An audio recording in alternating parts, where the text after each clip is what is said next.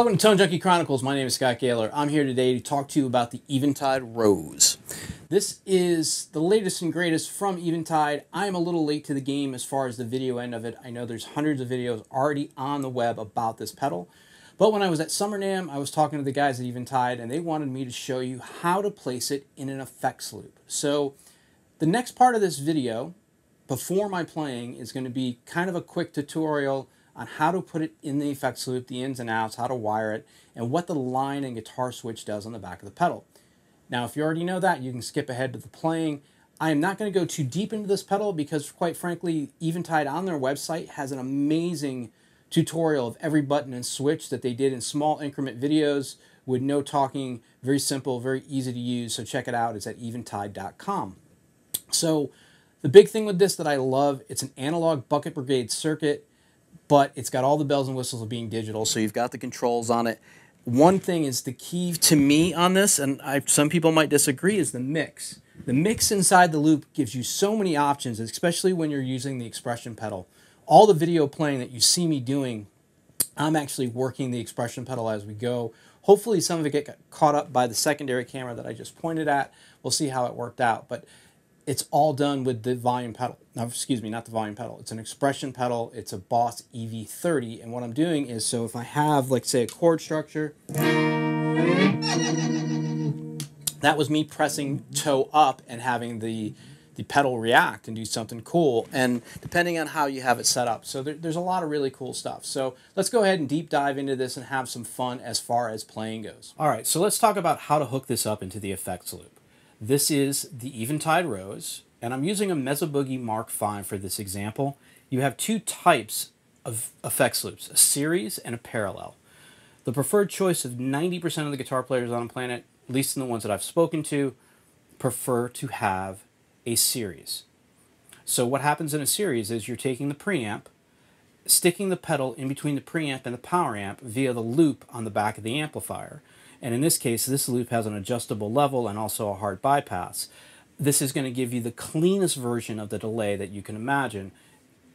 It's also going to take cut down on some noise and allow you to do some other functions and kind of treat it like a studio recording type setup. So I'm going to start by grabbing the cables here and uh, I'm using Tsunami cables on this, so just uh, to throw that out there.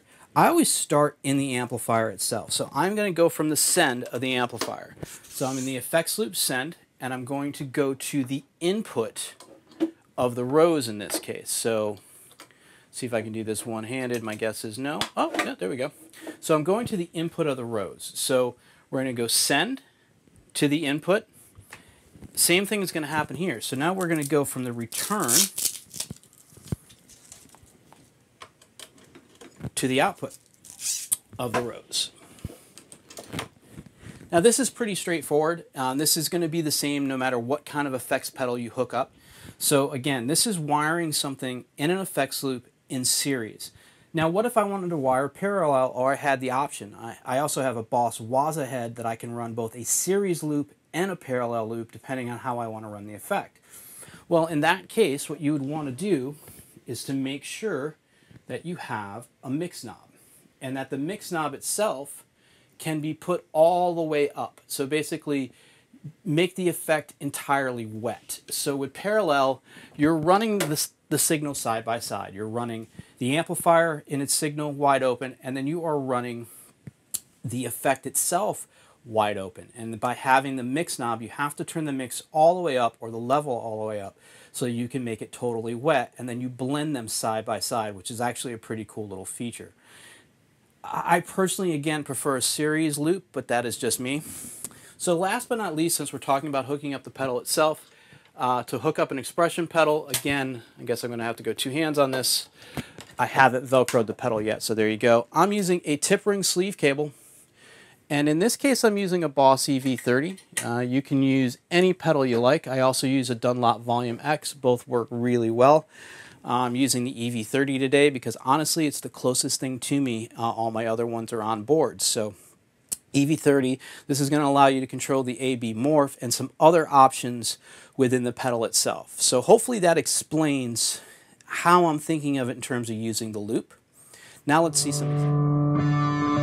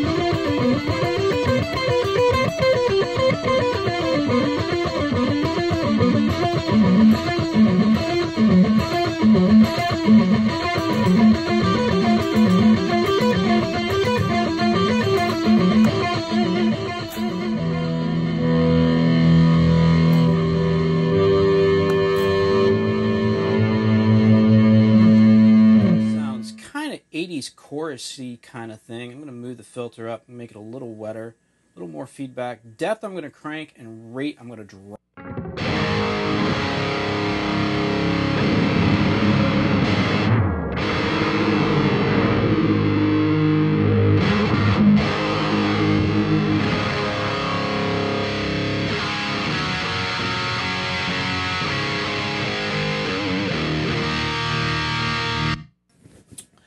What a difference. It's a, it's almost a thickener kind of makes it a little darker but thicker kind of again that 80s wide width guitar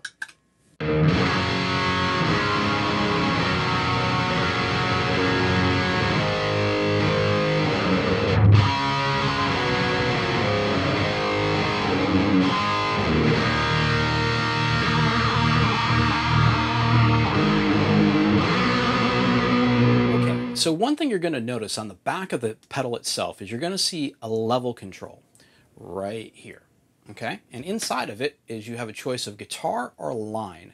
So since we are running this in the effects loop, I'm going to recommend using the line setup. That is going to give it the the best choice of input so you can control the level itself with the with the amplifier and the pedal and kind of get the best cleanest mix out of this. So your let's say your broken up distorted analog delay signal actually maintains that sound that you want it to do at a level that you want to. It's basically the same as using a rack effect in the studio since you're using it in the loop. Now if you're just going into the front of the amplifier then of course you're going to flip it up to the guitar setting.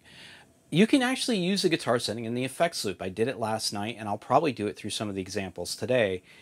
I just personally think it sounds best or most authentic, so to speak, in the line setting. So again, if we're running the loop and like we like we're doing here, we're running it in series, I would run it in the line setting.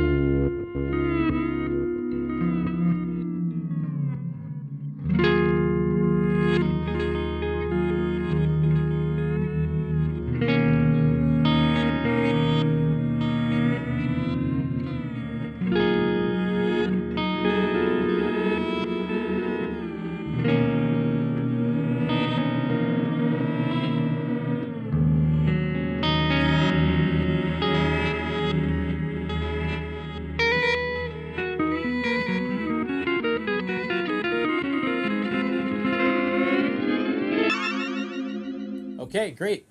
Hope you enjoyed it. That was the Eventide Rose. Please go to eventide.com, go to scottgailor.com, go to tonejunkiechronicles.com. If you have any questions, you can email me at scottgailorlessons at gmail.com.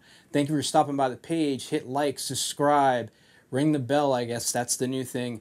And I hope to see you all very, very soon. Big shout out to the guys at Eventide. Thank you for letting me uh, test your pedal. Hope all is well. I'll see you soon. Peace.